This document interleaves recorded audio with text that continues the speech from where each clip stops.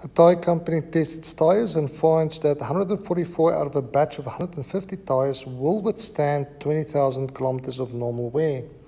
Find the relative frequency of tyres that will last 20,000.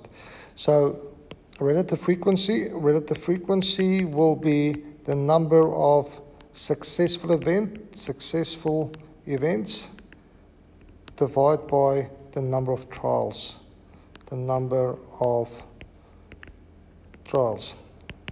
That's on a na, that's a no.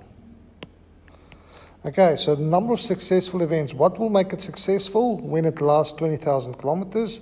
144 happened in my trial out of 150 trials, and that will give me an answer of 0.96.